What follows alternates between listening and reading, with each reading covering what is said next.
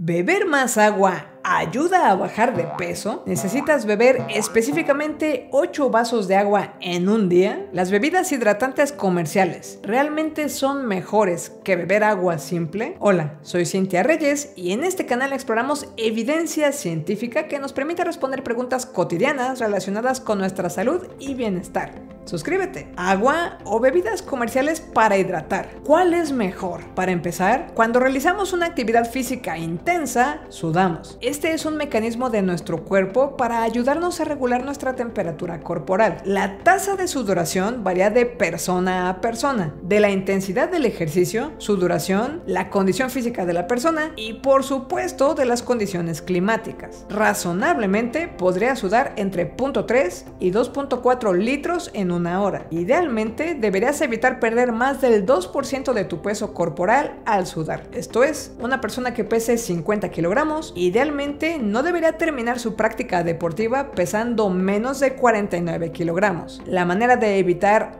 llegar a este extremo sería lógicamente ingiriendo fluidos. Ahora, las bebidas comerciales hidratantes presumen contener electrolitos. ¿Por qué los electrolitos nos interesan en primer lugar? En nuestro cuerpo los electrolitos son esenciales para controlar el equilibrio de líquidos, regular la tensión arterial, favorecer la contracción de los músculos, incluyendo los del corazón, y mantener el pH correcto de la sangre. Resulta que efectivamente el sudor contiene electrolitos, principalmente sodio y pequeñas cantidades de potasio, calcio y magnesio. En promedio, se estima que se pierde alrededor de un gramo de sodio por cada litro de sudor. Es posible llegar a un extremo de falta de sales, específicamente Específicamente nos preocupa la falta de sodio. A esto se le llama hiponatremia y es una condición que pone en riesgo la vida. Puedes llegar a esta condición si tu consumo ordinario de alimentos es demasiado bajo en sodio, si consumes una cantidad demasiado alta de agua ordinaria o incluso si llegaras a beber suficiente agua destilada. Entonces, sí, al sudar perdemos agua y electrolitos y esencialmente ambos son muy importantes para nuestro cuerpo. La relación entre la cantidad de fluido que tengamos en el cuerpo. Y la concentración de sales o electrolitos es importante porque nuestros tejidos están conformados por células y todas nuestras células contienen membranas que facilitan el ingreso o salida de ciertos nutrientes y para que funcionen estas membranas dependen de cierta concentración en nuestro plasma sanguíneo de las sales. Todo nuestro cuerpo está calibrado para funcionar de manera adecuada en un cierto rango de concentración de sales en nuestro plasma sanguíneo. Como imaginarás, la referencia que nos interesa es precisamente la concentración de sales que permite que un fluido se parezca lo más posible al plasma sanguíneo. Debo aclarar que si tienes la curiosidad de ver literatura sobre este tema, la referencia en sí no es exactamente la concentración de sales o electrolitos, sino una variable distinta que se llama presión osmótica que depende totalmente de esta concentración. Entonces, una bebida que tenga un comportamiento semejante al plasma se llama isotónica. Como supondrás, hay bebidas con menor concentración de electrolitos que son llamadas hipotónicas y bebidas con una mayor concentración llamadas hipertónicas. Si tomaras un conjunto de glóbulos rojos y los colocaras en una solución hipertónica, perderían fluido interno. Si los colocaras en una solución hipotónica, se hincharían y en una solución isotónica mantendrían su tamaño. Obviamente esto no nos sucede en todo el cuerpo por tomarnos una botella de cualquiera de este tipo de bebidas. Toma en cuenta que en promedio entre el 47 y el 56% de nuestro peso corporal es agua si eres mujer u hombre respectivamente. Considera también que aun si solo bebieras bebidas hipotónicas, en nuestros alimentos ingerimos de manera regular electrolitos, principalmente sodio. De hecho, tenemos en el canal un video en el que platicamos de qué alimentos deberías cuidar de ingesta por el exceso de sodio que pueden representar. Lo que estoy diciendo hasta este punto es que sí, al sudar perdemos agua y electrolitos. Pero también te estoy diciendo que tanto el agua como las distintas bebidas comerciales tienen diferentes comportamientos con respecto a su concentración de sales y por lo tanto sí pueden tener un efecto distinto en nosotros cuando las bebemos. Para que ubiques un poco lo que encontramos en el mercado, estudios como este han medido distintas bebidas clasificando a Powerade como bebida isotónica y a Gatorade como bebida hipertónica. Estuve buscando, pero parece que en general, al menos en México, no es fácil conseguir bebidas hipotónicas comerciales. Creo que las bebidas Suerox y Electrolit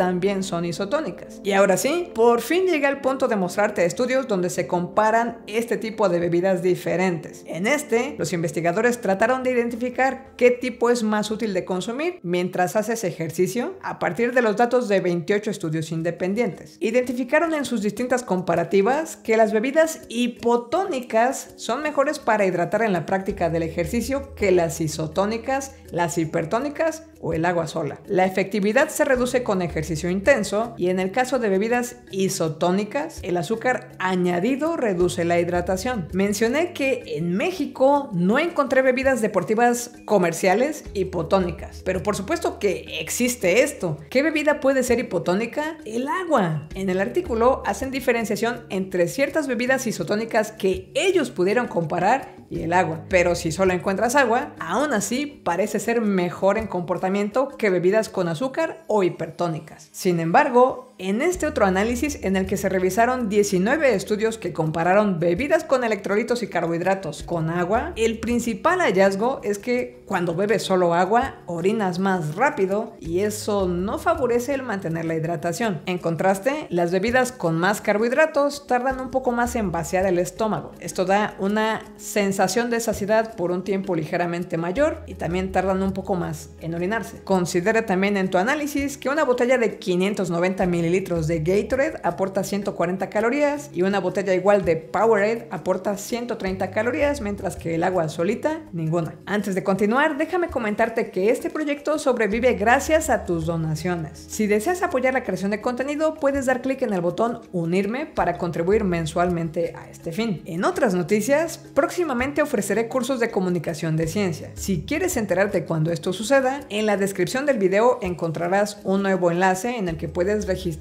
para una lista de distribución de correos donde notificaré al respecto. Ahí encuentras también un enlace que te permite recibir el resumen mensual de nuevos contenidos. Y si aún no lo haces, suscríbete al canal. ¿Necesitas beber 8 vasos de agua al día? Para empezar, es difícil conocer el origen de esta cifra. Hay quien ha identificado que la primera referencia de este tipo en la literatura es de 1945. Aparece en un pie de página en las directrices dietéticas del Consejo de Alimentación y Nutrición de la Academia Nacional de Ciencias. Lo que especifican es que para una dieta para un hombre que requiera 2.500 kilocalorías, debería ingerirse un mililitro de agua por cada kilocaloría o sea 2.5 litros para una dieta de 2.500 kilocalorías. No hace referencia de qué estudio llevó a este número mágico. Además, el documento sí especificaba que esa ingesta incluía el agua que se consume en el propio alimento, es decir, incluyendo el agua que consumes en frutas y verduras. La información más reciente, que sí se basa en ensayos clínicos que podemos rastrear, recomienda tomar en cuenta las condiciones climáticas, así como el nivel de actividad y tus condiciones de salud particulares. Dicho eso, los estudios que encontré con los extremos en las recomendaciones mencionan por un lado una ingesta de 1.5 litros de agua al día para personas sedentarias y por el otro un rango de 2.5 a 3.5 litros al día para personas con actividades de ligeras a moderadas con el objetivo de excretar de 2 a 3 litros de orina. En este último estudio, entre las razones por las cuales se sugiere esta alta ingesta de fluidos es la potencial reducción de probabilidad de piedras renales, así como la reducción de probabilidad de ocurrencia de infecciones urinarias. La realidad es que es difícil medir la ingesta de agua que uno tiene. La sandía, por ejemplo, es 91% agua y los huevos crudos 76%. De modo que más allá de la recomendación obvia de beber agua cuando tienes sed, es importante vigilar el color de tu orina. Si es muy transparente, quizás has ingerido demasiada agua y si por el contrario es un amarillo intenso, necesitas más agua. Esto por supuesto al de que estés tomando algún medicamento que pueda modificar el color de tu orina o que tengas una condición de salud que también lo perturbe. Por cierto, debo decir que este video se suma a la campaña de recaudación de fondos de Team Water que tiene por objetivo recaudar 40 millones de dólares para llevar agua potable a 2 millones de personas. La fecha límite para lograr la meta es el 31 de agosto. La campaña es dirigida por MrBeast y otros youtubers quienes se han asociado con WaterAid. Con ello se desarrolló una estrategia que propone llevar agua a zonas urbanas con poblaciones en crecimiento, donde se escalará su capacidad. La promesa es llevar agua por más de 20 años a 2 millones de personas con un costo promedio de 20 dólares por persona. Esto es, prometen que cada dólar donado le dará agua por un año a una persona. WaterAid trabaja en la misión de hacer el agua un recurso accesible para más personas desde 1981. A la fecha, la organización ha apoyado proyectos en más de 30 países en Asia, Sudamérica y África, impactando a más de 29 millones de personas. Su enfoque implica desarrollar infraestructura y capacitar personas locales en colaboración con los gobiernos de la región para crear empleos, de modo que la gente de la comunidad pueda por sí misma, dar mantenimiento y reparar la intervención en el futuro. Para donar a la campaña, ingresa a teamwater.org. ¿Beber agua ayuda a bajar de peso? Si se sustituye una bebida que implica ingesta de calorías por agua simple, hay una relación clara en el cómo puede el agua ayudar a bajar de peso. Esto se corrobora en estudios como este, en que se hizo un seguimiento de hasta dos años a más de 1.800 adultos mayores con síndrome metabólico. Respecto a si solo beber agua por sí mismo puede ayudar a bajar de peso, eso parece tener menor evidencia. En algunos análisis que encontré se aumentaba la ingesta de agua al mismo tiempo que se hacía algún tipo de dieta. Y sí, había una reducción de peso, pero ¿cómo saber si fue la dieta el agua? Uno solo de los estudios sugiere que hubo pérdida de peso al ingerir medio litro de agua antes de cada comida. Por otro lado, concretamente aquí, tras analizar 8 estudios controlados aleatorizados, no se encontró evidencia de que aumentar la ingesta de agua ayude a modificar el nivel de adiposidad en el cuerpo. Personalmente, esto me suena a que no hay suficiente evidencia de que beber agua como tal te ayude a bajar de peso. Pero claro, sustituir bebidas que aportan calorías por agua sí es útil. Suscríbete al canal y comparte nuestro material. Te invito también a ver este video en el que analizamos qué efecto tiene el consumo del café en el hígado. Recuerda que puedes apoyar la creación de contenido con pequeñas donaciones como ya lo hacen ellos. Muchas gracias.